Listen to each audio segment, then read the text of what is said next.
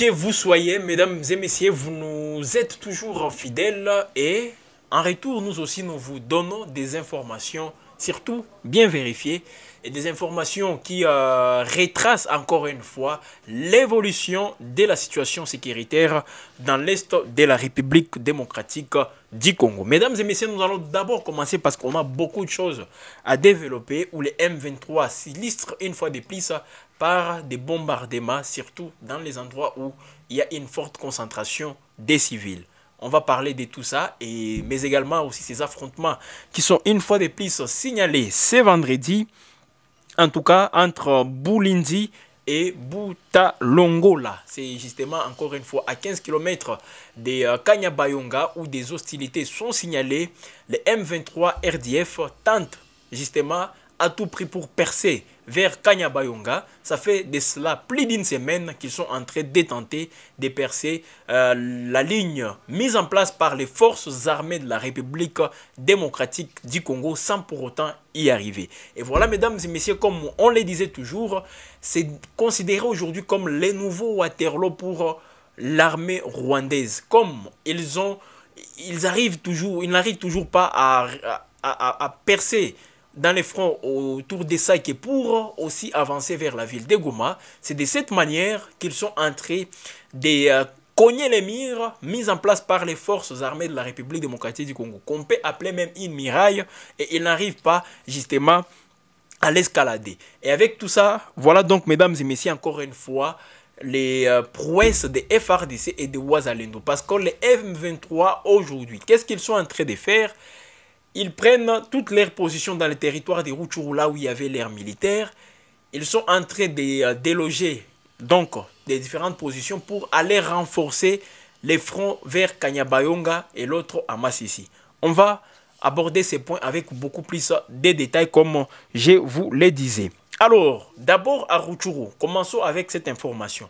Parce qu'une fois de plus, les civils sont visés par les, euh, encore une fois, ces, comportements malsains des euh, hommes de Paul Kagame sur le sol congolais.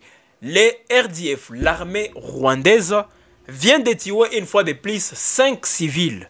Et là, nous sommes euh, à Rubwe et Kanyati.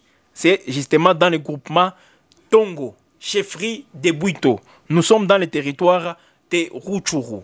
Voilà, ça, ça s'est passé le jeudi où cinq civils ont été tués par l'armée rwandaise sur le sol congolais. Pourquoi ils ont encore une fois tué les civils? Parce qu'on a essayé un peu de recouper les différentes informations, surtout là au niveau des euh, Tongo, où les gens sont en train de témoigner. Et quand vous écoutez tous ces témoignages, mesdames et messieurs, on a la chair d'épaule, on a froid, euh, en tout cas, au dos en, en, écoutant tout ce qui est entré d'être évoqué. Alors, sur les cinq civils, des, donc on peut le considérer comme étant des victimes déjà de cette barbarie de l'armée rwandaise, des euh, ont été jetés dans la rivière Makom, Makomalehe. Makomalehe, c'est justement une rivière qui est située dans le groupement Tongo, chefferie de Buito. Ils ont encore une fois, ils ont donc tué cinq civils. Pourquoi ces civils ont été tués?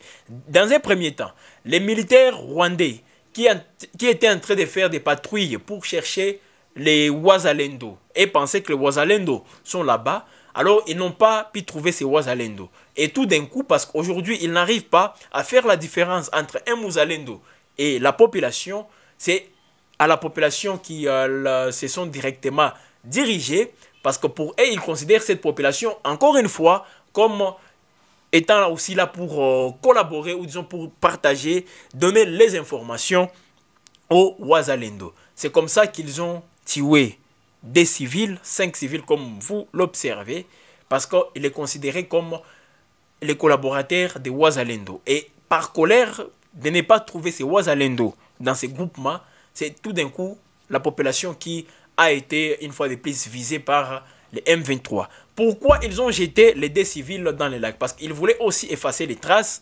Parce que si vous vous rappelez très bien, Tongo a une fois de plus été le théâtre des tueries, de la barbarie de l'armée rwandaise. Parce qu'il y avait même un massacre perpétré à Tongo il y a de cela une année. Alors, pour éviter à ce qu'il y ait des traces pour qu'on fait compte qu'il y ait encore une fois ces décomptages. Parce que qui fait à ce qu'aujourd'hui, l'armée rwandaise, surtout les M23 comme l'ONU ne veut pas affirmer noir sur blanc, c'est l'armée rwandaise qui est en train de tuer les gens sur les sols congolais. Ils disent que ce sont les M23. Alors, ils avaient eux-mêmes élaboré un rapport où il, y avait même quelques individus de, euh, de, cette rébellion qui étaient visés par des sanctions. Des sanctions qui n'ont jamais été aussi prononcées. Alors, c'est comme ça, pour éviter encore une fois des, sanctions à venir, ils ont jeté les corps des deux civils sur les cinq dans la rivière Mako-Malehe, toujours dans euh, la chefferie des Buito, groupement Tongo. Et là, c'est encore une fois des localités Rubwe et Kanyatsi qui ont été visées par ces exactions des rebelles du M23 ou disons l'armée rwandaise qui est en train d'agir en République démocratique du Congo sous le label M23. Voilà encore une fois, mesdames et messieurs, sur autant de morts, sur autant de victimes que nous comptons déjà, cinq autres viennent d'être ajoutés. Et là, c'est dans un seul groupement, dans une seule chefferie. Allez-y comprendre que le mal est profond et l'armée rwandaise ne cesse aussi de s'illustrer toujours par des théories. Parce qu'aujourd'hui, ça devient maintenant une boucherie humaine qui s'érige en plein territoire des Rutshuru, voire même à Massissi. Alors, qu'est-ce qui différencie aujourd'hui. Les RDF aujourd'hui sur les sols congolais aux EDF qui égorgent aussi les civils dans les territoires des Béni. En tout cas, ça commence aussi à... Les, RDF s'y lisent aussi au même titre que les ZDF, les ZDF qualifiés aussi comme un mouvement terroriste, aujourd'hui, l'armée rwandaise, et c'est à la communauté internationale de prendre tout ça en considération pour qu'il y ait des représailles sur le plan diplomatique, pourquoi pas aussi sur le plan militaire, contre les Rwandais. Parce que c'est l'armée rwandaise qui agit toujours sur les sols congolais. Voilà, mesdames et messieurs, ce qu'il faut retenir par rapport à ces informations. Parce que les, M, les, les Ouazalendo, à un certain moment, et là c'est bien sûr dans la localité des Bambo, où les Ouazalendo avaient occupé momentanément cette localité avant que les RDF ne puissent revenir. Pourquoi les Ouazalendo ont récupéré. Il n'y avait pas justement des affrontements. Ils ont vu un vide aussi dans Bambo parce que les M23 RDF aujourd'hui n'ont pas un effectif qui peut, qui peut les, permettre aussi euh, euh, d'alimenter toutes euh, les lignes de front, que ce soit à Massissi, que ce soit à Niragongo, à Ruchuru et dans la route menant vers les territoires des Loubero. Aujourd'hui, ils n'ont pas des militaires pour aussi alimenter ou disons pour contenir toutes ces lignes de front. Voilà pourquoi ils sont en train d'abandonner certaines positions, surtout dans les territoires de Massissi, pour renforcer leur position vers Kanyabayonga. Parce qu'à 15 km de Kanyabayonga, comme on vous le disait, il y a une forte résistance. Et les affrontements sont déjà signalés ce vendredi où les FRDC et les Wazalendo sont en train de stopper net toute tentative des RDF M23 de vouloir encore une fois se rapprocher de Kanyabayonga. Et ça évolue bien parce que au lieu que les M23 avancent, ils sont en train d'être tués et ils n'arrivent même pas à reculer. Parce que depuis qu'on vous a annoncé qu'ils sont à 15 km, ils ne reculent plus. Mais, bien au contraire, les FRDC sont en train de les tuer là où ils sont en train de vouloir résister. Et c'est comme ça que les choses sont en train d'évoluer sur la ligne de front en allant vers Kanya Bayonga. Parce que Kanya Bayonga reste toujours sous contrôle des FRDC. Alors, comme l'ennemi a du mal aujourd'hui à s'approcher de Kanya Bayonga, qu'est-ce qu'il fait? Il vise encore une fois les civils. Il vise encore une fois là où il y a une forte concentration de la population. Et c'est comme ça qu'on vient d'enregistrer encore une fois d'autres tirs à Kanya Bayonga. Au moment où nous sommes en train de réaliser cette émission, il y a des bombes qui viennent encore de tomber sur Kanyabayonga. Des explosions, voilà, signalées à Kanyabayonga. Déjà, c'est vendredi. C'est précisément au quartier Buhundu. Des enfants viennent d'être blessés. Il y a aussi des blessés côté euh, où une maman vient d'être aussi blessée et un militaire FRDC. Le bilan peut évoluer à tout moment parce qu'avec les chiffres que nous venons euh, justement de concocter, voilà, c'est euh, tout simplement des blessés, surtout côté les enfants qui sont nombreux parmi les victimes de cette bombe, de cette explosion, voilà, qui a fait état encore une fois des tirs, des bombes larguées par les RDF vers Kanya Bayonga. Donc, ils n'arrivent toujours pas à se rapprocher de Kanya Bayonga. Voilà pourquoi ils veulent créer un mauvais climat entre les FRDC et la population. Et là, je crois que la population est déjà avertie par rapport à ça, parce que c'était les mêmes modes opératoires dans les territoires des Massissi, se rapprochant bien sûr de la cité des Saké. Les RDF avaient fini justement par comprendre que ça sera difficile pour eux d'atteindre Sake avec la résistance des FRDC et de Ouazalendo. Et c'est comme ça qu'ils avaient commencé à larguer des bombes en pleine cité de Sake. Jusqu'à ce que la ville de Goma était aussi touchée, surtout, rappelez-vous, du cas récent avec les camps de déplacés qui a été visé par les tirs de l'ennemi. Des morts enregistrés, ça, nous n'oublierons pas en tout cas cet acte ignoble, une fois de plus, de la part de l'armée rwandaise avec à sa tête Paul Voilà donc, mesdames et messieurs, cette euh, situation qui est loin de dire son dernier mot, parce qu'aujourd'hui, l'ennemi n'arrive toujours pas, aussi comme j'étais en train de le dire, à procéder par de bonnes méthodes. Et c'est comme ça qu'il tente toujours à créer des victimes partout là où il passe. Et encore une fois, c'est la population qui est en train d'en payer les prix. Parce qu'aujourd'hui, Kanyabayonga devient le deuxième Waterloo pour Paul Kagame. Son premier Waterloo, c'était d'abord la cité des Sake, où aujourd'hui, il n'abandonne pas aussi ses ambitions de prendre le contrôle des Sake. Et si une fois Sake est sous contrôle de l'armée rwandaise, il aura la possibilité d'avancer tout droit vers la ville de Goma. Voilà pourquoi aujourd'hui, il est en train de procéder par des renforcements avec les positions vers Sake et d'autres vers Kanyabayonga.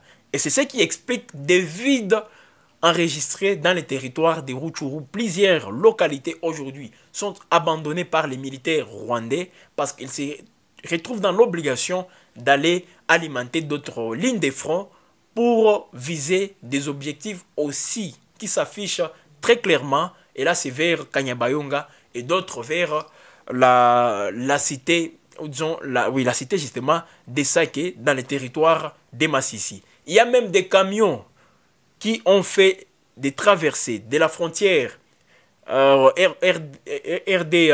euh, la frontière congolo-rwandaise vers Niragongo. Parce qu'on a vu des camions de l'armée rwandaise transportant des militaires pour aller encore une fois renforcer leurs effectifs vers Kanyabayonga. Et c'est parce qu'aujourd'hui, ils n'arrivent pas à percer.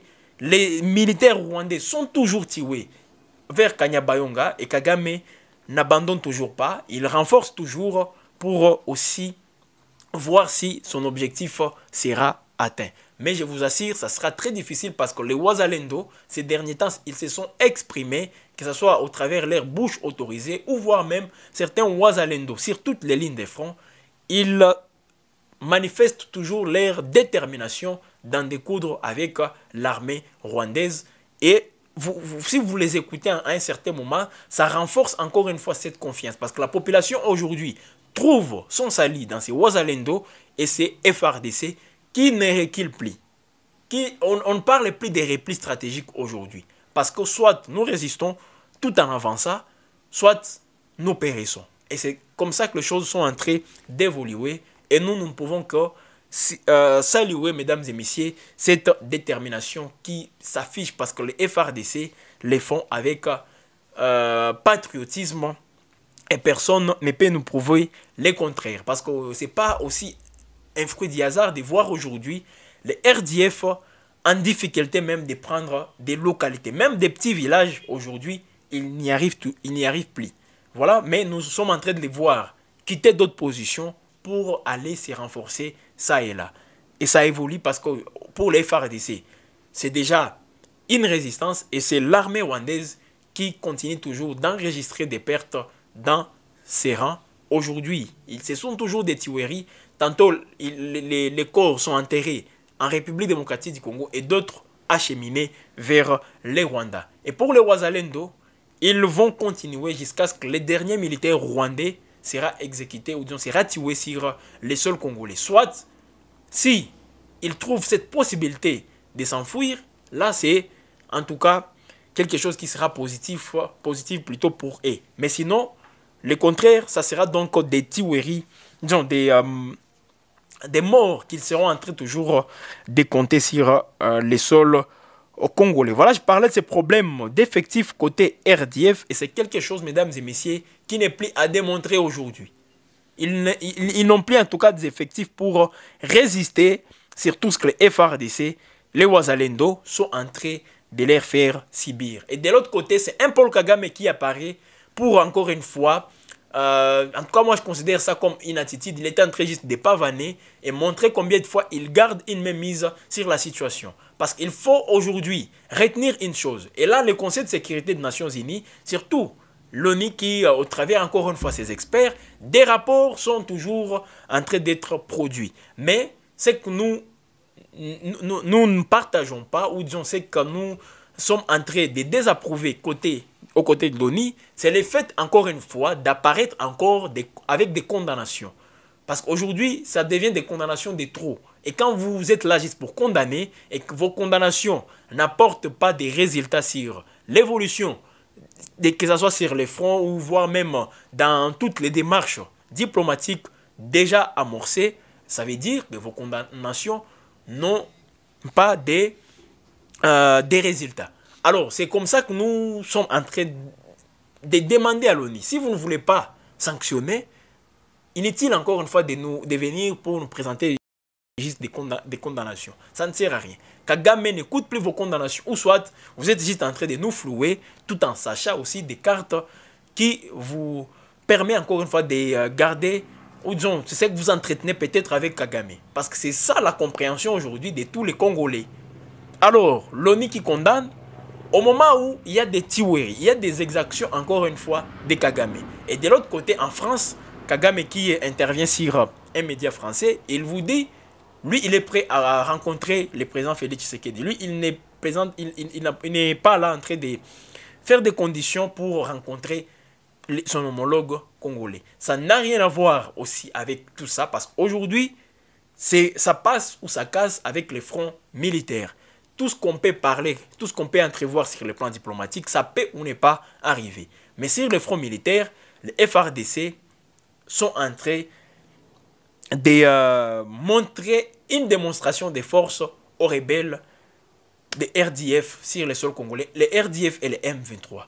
Voilà, donc aujourd'hui, c'est aussi une nécessité, mesdames et messieurs, de garder la même détermination. Et au besoin, vous pouvez l'accentuer. Avec euh, aussi ces Wazalendo, qui font un travail des titans, qui font un travail en tout cas de ces patriotes dignes. Voilà aujourd'hui leur implication aussi nous pousse aujourd'hui à, avoir en tout cas ces dénominateurs communs, ou disons en tout cas cette cohésion par rapport à ces fronts communs contre l'armée rwandaise sur le sol congolais. Aujourd'hui, nous voyons la population prête aussi à collaborer comme ça s'est fait aujourd'hui. Et c'est même cette population qui se voit encore une fois victime de la part des RDF qui, considère, qui, qui, qui, voit déjà cette population comme étant là aussi pour en train de collaborer avec l'armée congolaise, avec le Ouazalendo. Et c'est comme ça que cinq civils, comme j'étais en train de vous les montrer en, débutant cette émission, cinq civils tués hier jeudi à Rouboué et Kanyatsi, toujours dans le groupement Tongo Chefri de Bouito. Et euh, dès parmi ces victimes, voilà comme je le disais, j'étais dans une rivière appelée Makomalehe, dans cette partie du territoire des Rutshuru. Alors, nous allons revenir pour vous faire part, mesdames et messieurs, de toutes ces... Euh, euh, des, bilans justement avec les explosions signalées d'une bombe voilà, à Kanyabayonga. Voilà, vous allez donc comprendre que c'est une cité, encore une fois, qui est visée par l'ennemi. Pourquoi? Parce que il a du mal à se rapprocher de Kanya Bayonga. Et pour lui, il faut à tout prix couper la relation qui existe aujourd'hui entre la, population et son armée, mais également les gens qui représentent valablement cette population dans cette guerre que moi j'appelle affectueusement les jeunes résistants, les patriotes. En Swahili, on les appelle les Wazalendo. Voilà donc, mesdames et messieurs, et c'est comme ça que les choses vont s'améliorer toujours côté RDC, côté aussi FRDC. Donc Kagame peut dire tout ce qu'il veut, mais aujourd'hui, la présence des troupes rwandaises sur les sols congolais n'est plus à démontrer parce que tout le monde, même les experts des Nations Unies, l'ONU le sait parfaitement. L'Union européenne, bien qu'elle est aussi là en train de collaborer avec, euh, avec les, euh, les Rwandais, mais elle-même sait justement que l'armée rwandaise est sur le sol congolais. Et comme vous ne voulez pas sanctionner, déjà, votre attitude prouve combien de fois vous êtes aussi complice de tout ce qui se passe aujourd'hui en République démocratique du Congo. Alors, nous allons fouiner pour comprendre qu'est-ce que vous bénéficiez de cette collaboration avec Paul Kagame. Parce que moi, je l'ai toujours dit, qu'est-ce que les Rwandais donnent de plus mieux que la République démocratique du Congo ne peut pas donner, que ce soit aux États-Unis, que ce soit à l'Union européenne, voire même l'ONU avec toutes ces multinationales. Et là, vous allez nous le dire tout haut, parce que vous voulez passer par la fenêtre, et pourtant la République démocratique du Congo vous a laissé la porte grandement ouverte, mais vous ne voulez pas toujours passer par la grande porte. Alors, comme vous ne voulez pas ça, nous allons tout faire pour, fermer toutes ces fenêtres sur lesquelles vous étiez en train. En passant justement par vos petits chiens, les, petits chiens que vous nous envoyez, qui est les Rwandais, et de l'autre côté, l'Ouganda. Mesdames et messieurs, nous voici donc à la fin de cette émission pour aujourd'hui. Je vous donne une fois de plus la possibilité de nous contacter. Et là, c'est pour échanger encore une fois toutes ces informations. Car vous méritez tous ces détails. Partout là où vous êtes, vous pouvez nous contacter et nous, on va vous donner ces informations avec d'autres détails. Peut-être qu'on ne peut pas dire euh, tout devant la caméra et sur ces micros, mais facilement, en privé, vous pouvez nous contacter au plus de 143 9 98 72 43 14. Plus de 143 9 98 72 43 14. N'hésitez pas surtout de commenter parce que vous les faites aussi. Et quand vous commentez, que ce soit avec euh, des encouragements au FRDC et au Azalendo. Tout Congolais partout là où il, est, il, est, il a en tout cas cet intérêt de voir son armée, de voir ses compatriotes, les Wazalendo aujourd'hui, remporter toutes les batailles et puis la guerre face à l'armée rwandaise sur le sol congolais. Voilà pourquoi vous devez aussi faire des encouragements par des messages, et partager aussi pour que d'autres Congolais ou d'autres amoureux de la patrie, de cette, notre, notre mère patrie qui est la République démocratique du Congo, puissent aussi comprendre comment les choses évoluent. Et ça me fera justement plaisir de voir vos commentaires dans ce sens-là. Mesdames et messieurs, on se retrouve demain pour, euh, pour le week-end déjà et ça sera encore une fois avec d'autres informations bien vérifiées et des informations justement qui... Euh, rassure encore une fois la population, ces informations qui vous permet, qui vous met au parfum de l'actualité de la guerre, voilà, dans l'est du pays. Au revoir et on va se retrouver demain.